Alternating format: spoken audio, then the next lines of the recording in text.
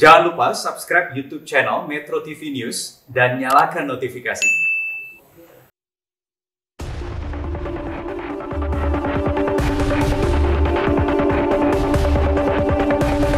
Menurut saya hampir beberapa banyak daerah sudah hijau.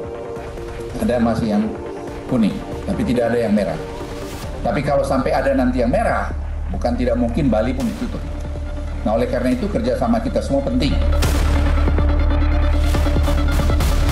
Tentunya pasti yang mereka harapkan protokol kesehatan yang baik, aman buat mereka rasa nyaman pada saat ke sini. Gitu.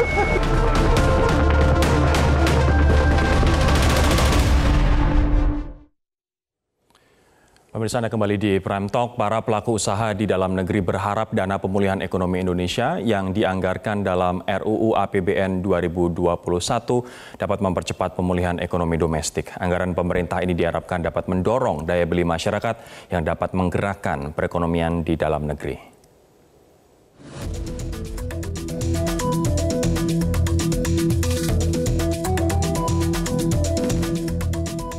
Rancangan APBN 2021 yang disusun pemerintah fokus dalam pemulihan ekonomi domestik akibat tekanan pandemi COVID-19. Dalam susunan anggaran ini, pemerintah mengalokasikan dana sebesar 14,4 triliun rupiah untuk pembangunan pariwisata di tahun 2021 mendatang. Sekjen Perhimpunan Hotel dan Restoran Indonesia, Maulana Yusran optimistis, besarnya anggaran pariwisata ini dapat membantu pemulihan sektor perhotelan di dalam negeri.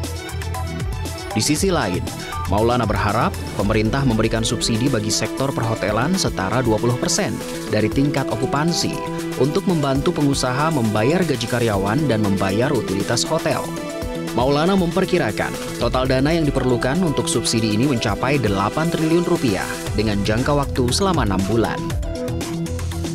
Dia beli tiap hotel 20% sehingga terjaga okupansi itu masih di 40%. Apa kelebihannya pemerintah membeli ini? Pertama itu sama aja pemerintah memberikan uh, apa namanya subsidi apa uh, modal kerja tanpa syarat dan tanpa uh, bunga kan gitu. Kalau kita bandingkan dengan melalui bank ini kita juga akan bingung dengan demand side kita seperti ini kita hidup bunga berbunga kita kan nggak tahu nih kita dalam kehidupan dalam dalam kondisi uncertainty kan kan gitu ya. Jadi kok market kita nggak yakin enam bulan lagi seperti apa masih lot of big question di dalam situ. Nah makanya saya bilang lebih bagus dikasih ini dan nilainya juga lebih kecil gitu loh.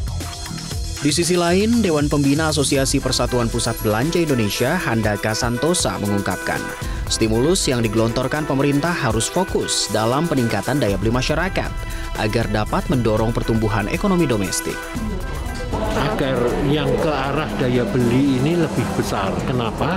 Karena ini akan mendukung uh, added value kepada pertumbuhan ekonomi. Dan kita tahu bahwa berkali-kali saya sampaikan bahwa uh, pertumbuhan ekonomi kita ini didrive mayoritas oleh konsumsi domestik. Jadi ini yang harus ditingkatkan. Bantuan pemerintah sekali lagi kepada uh, karyawan saya rasa cukup bagus.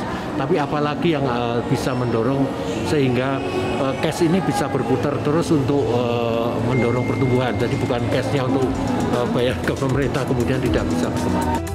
Lebih lanjut, pelaku usaha berharap agar pemerintah segera merealisasikan kegiatan perjalanan dinas aparatur sipil negara. Sebab pelaksanaan dinas luar kota ini diyakini dapat membantu menggerakkan kegiatan usaha dan perekonomian di daerah.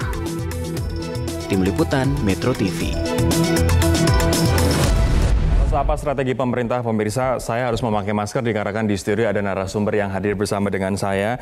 Ada Mas Dedi Permadi, staf khusus Menkominfo bidang kebijakan digital. Mas Dedi, selamat malam. Selamat malam, Mas Tori. Saya juga akan menyapa Pak Odo RM Manuhutu, Deputi Bidang Koordinator Pariwisata dan Ekonomi Kreatif Kemenko Marves yang bergabung bersama kami melalui sambungan Zoom. Pak Odo, selamat malam Pak Odo. Selamat malam Pak. Terima kasih Bapak-Bapak telah bergabung uh, bersama kami. Saya akan ke Mas Dedi terlebih dahulu. Um, terkait dengan upaya untuk menyeimbangkan antara ekonomi yang saat ini kita tahu pariwisata merupakan salah satu sektor yang tergerus, pariwisata, penerbangan, um, retail pun juga mengalaminya. Tapi kalau misalnya kita fokus pada pariwisata, menyeimbangkan antara ekonomi dengan kesehatan, Mas Dedi, apa strateginya? Baik, terima kasih Mas Rory. Strategi pemerintah di dalam menyeimbangkan antara kebijakan kesehatan dan kebijakan ekonomi ini sangat jelas. Hmm. Berdasarkan arahan Bapak Presiden, ada komite yang hmm. saat ini dibentuk yang bernama KPCPEN. Hmm. Komite Penanganan COVID-19 dan Pemulihan Ekonomi ya. Nasional. Ya. Artinya kebijakan kesehatan sekaligus kebijakan ekonomi kita jalankan bersama-sama sehingga misinya apa Mas Rory? Hmm. Misinya adalah masyarakat bisa sehat, di saat yang bersamaan ekonomi bisa bangkit. Jadi itu dilakukan secara bersama-sama. Kalau dalam sektor pariwisata, ya. kita pasti melihat bagaimana upaya pemerintah untuk mulai memastikan kedua hal ini bisa berjalan. Hmm. Ekonomi tetap jalan dengan cara apa? Mulai menaikkan atau membuka sektor-sektor pariwisata yang memungkinkan. Hmm. Kalau kita ketahui, misalnya Kementerian Pariwisata dan Ekonomi Kreatif sudah mencanangkan beberapa protokol, misalnya untuk restoran, hotel, sektor ekonomi kreatif protokol-protokol itulah yang digunakan untuk memastikan okay. ekonomi tetap bergerak. Nah, protokol-protokol ini akan menjadi hitam di atas putih kalau misalnya pengawasan dan juga implementasinya tidak sesuai dengan protokol. Nah, saya nanti akan tanyakan, Mas, bagaimana memastikan agar pusat selalu mengawal daerah dalam menerapkan protokol-protokol ini. Karena walaupun sudah keluar impres, sanksi ataupun um, denda misalnya apa pun itu untuk para pelanggar protokol di daerah-daerah belum semuanya berjalan. Nah, saya akan ke Pak Odo terlebih dahulu. Um, Pak Odo, pemerintah juga memutuskan bahwa menutup kedatangan turis internasional hingga akhir uh, 2020. Sebagian besar negara-negara di dunia pun masih melakukan hal yang sama begitu, menutup pintu mereka untuk turis-turis internasional terkait dengan um, pencegahan uh, perluasan pandemi COVID-19 di negara masing-masing. Tapi apa strategi dari Kemenko Marves untuk mendorong turis-turis lokal, utamanya turis-turis lokal yang biasanya melakukan perjalanan ke luar negeri untuk melakukan perjalanan ke dalam negeri, membangkitkan ekonomi um, daerah-daerah di Indonesia. Terima kasih Pak Rory atas kesempatannya. Pertama mungkin uh, perlu uh, kami sampaikan bahwa pemerintah tidak menutup, tapi melihat situasi dari hari ke hari uh, dan data menunjukkan bahwa ke kehadiran turis uh, wisatawan mancanegara baru mungkin akan hadir di Indonesia pada akhir tahun. Uh, ini karena apa? Karena memang COVID-19 ini menciptakan rasa takut bagi bukan hanya wisatawan uh, wisatawan domestik juga wisatawan asing. Jadi bukan pemerintah melarang, tapi datanya menunjukkan bahwa kehadiran turis asing baru mungkin akhir tahun ini. Nah sambil menunggu kesiapan, uh, sambil menunggu turis uh, mancanegara hadir di Indonesia, sudah ada beberapa langkah yang dilakukan pemerintah Indonesia. Pertama adalah terkait uh, pembukaan travel corridor, uh, corridor arrangement dengan uh, empat negara sebagaimana hasil ratas di tanggal 28 Mei dan sejauh ini sudah ada kesepakatan dengan RRT dengan dan Korea Selatan untuk membuka travel corridor walaupun pada saat ini baru hanya terbatas untuk uh, untuk kegiatan bisnis sambil dilihat dan ini baru saja eh, disepakati pada tanggal 17 lalu, 17 dan 20 Agustus lalu dengan eh, masing-masing dengan Korea Selatan dan RRC.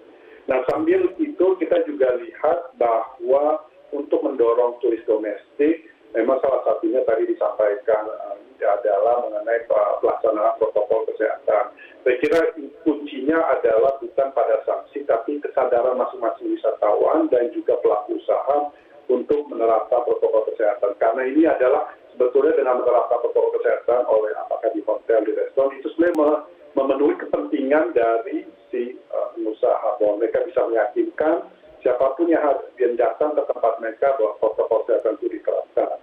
Kedua, tadi disampaikan, tadi saya dengar. Ya, Pak. Tapi kalau misalnya kita hanya mengharapkan kesadaran tanpa adanya sanksi, apakah harapan ini bisa menjadi realita, Pak? Tanpa adanya konsekuensi bagi bisnis yang melanggar atau bagi pemerintah daerah yang tidak disiplin dalam menerapkan protokol yang dibuat ini? Uh, kita mungkin harus lihat dulu di Indonesia memakai apa, helm uh, motor itu perlu waktu kan, uh, perlu waktu untuk uh. Saya kira ini sama uh, adalah uh, perlu perubahan, kemudian sanksi mungkin dilakukan, tapi yang penting sulit bukan sanksinya, tapi kesadaran dari masing-masing individu memakai hmm. masker, hmm. cuci tangan, uh, itu yang paling penting adalah kesadaran kedua adalah uh, apa yang dilakukan pemerintah saat ini bersama pemerintah dalam hal ini di bawah pemerintahan Pak Presiden Joko Widodo adalah pertama membangun destinasi yang berkualitas dan ketika Baik. kita berbicara dengan destinasi kualitas kita bicara bukan hanya sumber daya manusia bukan hanya mengenai infrastruktur tapi juga bagaimana memberikan pelayanan uh, dan juga uh, Oke. aspek kesehatannya. Menarik untuk nanti kita bahas soal koridor yang walaupun masih dalam hal public health dengan em, tiga negara tadi ya Pak, RRT, Korsel, dan UAE.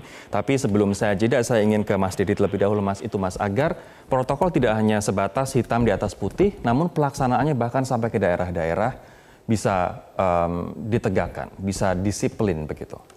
Salah satu yang diupayakan oleh pemerintah melalui Kementerian Pariwisata dan Ekonomi Kreatif adalah mengajak dan bekerja bersama dengan dinas-dinas pariwisata di daerah untuk memastikan protokol kesehatan itu bisa berjalan dengan baik. Protokol itu dinamakan sebagai CHSE, Mas. Cleanliness, Health, Safety, dan Environment.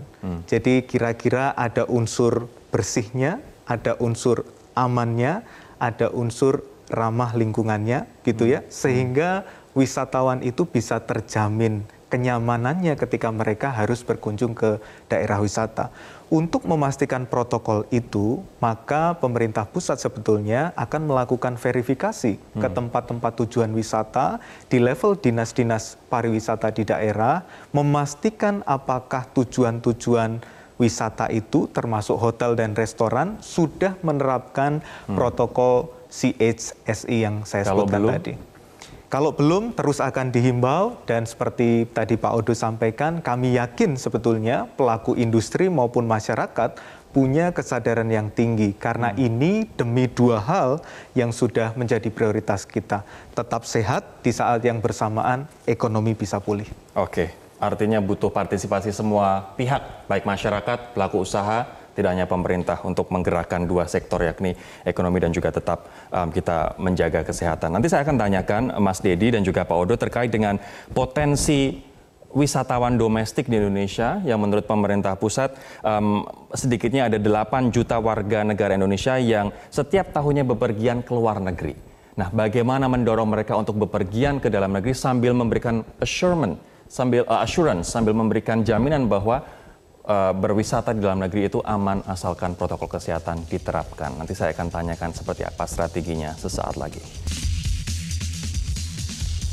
Mas Didi lantas bagaimana uh, mendorong agar 8 juta setidaknya 8 juta wisatawan domestik yang biasa bepergian atau berwisata ke luar negeri untuk mengunjungi daerah-daerah di Indonesia namun tetap dengan protokol kesehatan.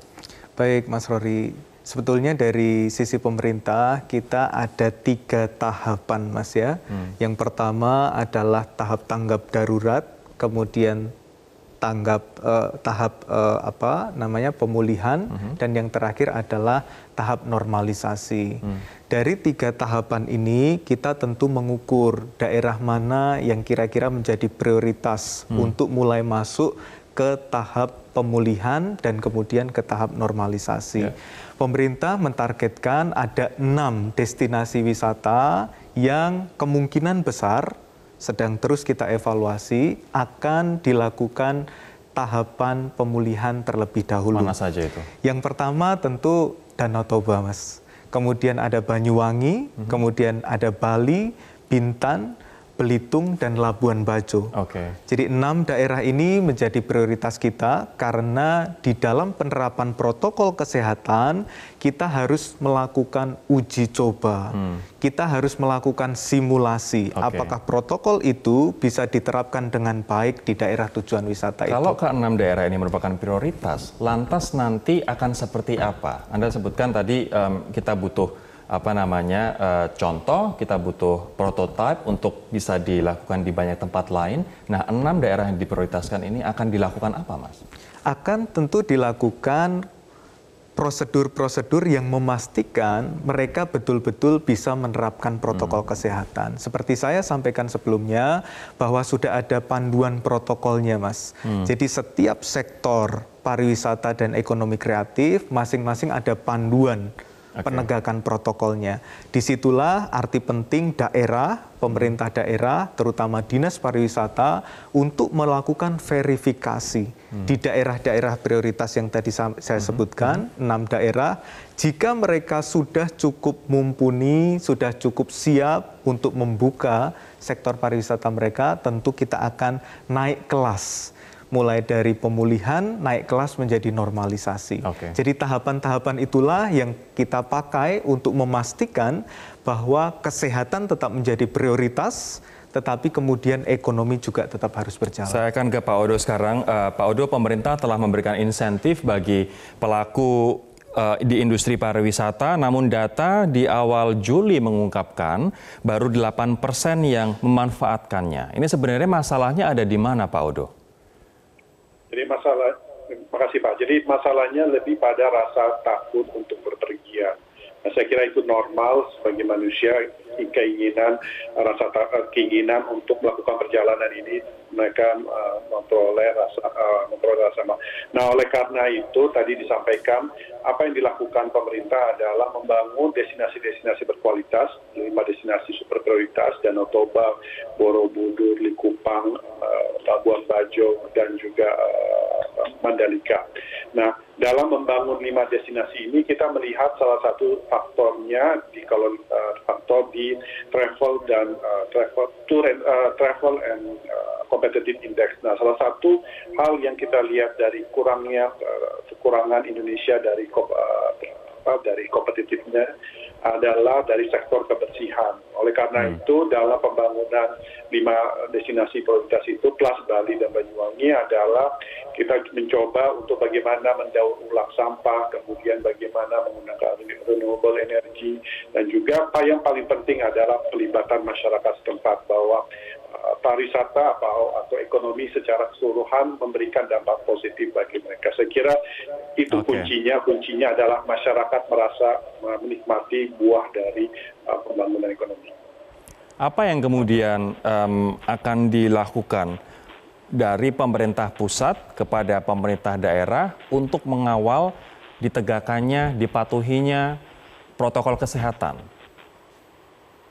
Oke, nah eh, ini yang kita lakukan sejak satu dua bulan lalu. Kita melakukan pembahasan dengan eh, lima lebih dari 500 kabupaten dan 33 provinsi.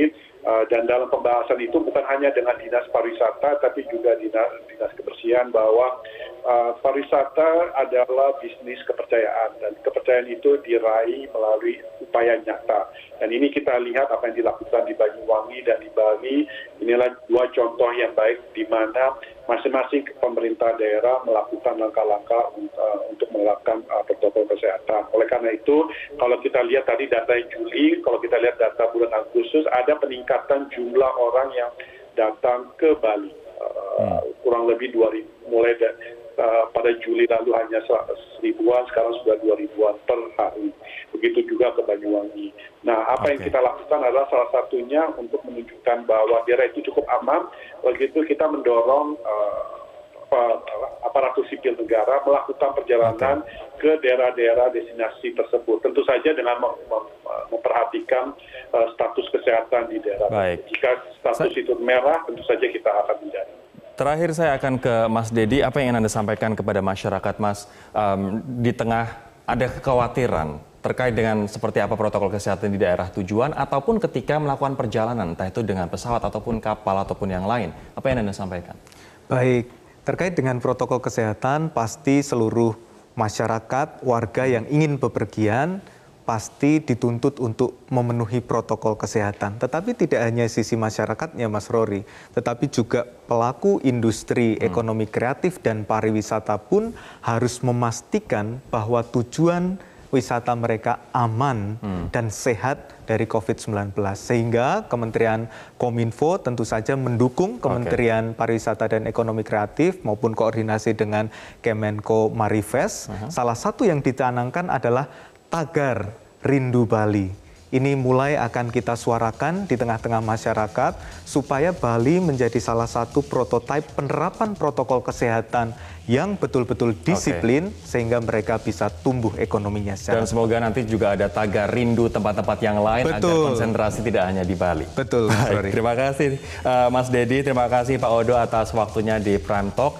Demikianlah perbincangan kami pemirsa terkait dengan bagaimana kemudian uh, mengelurahkan kembali sektor pariwisata sambil kita menerapkan secara disiplin protokol kesehatan.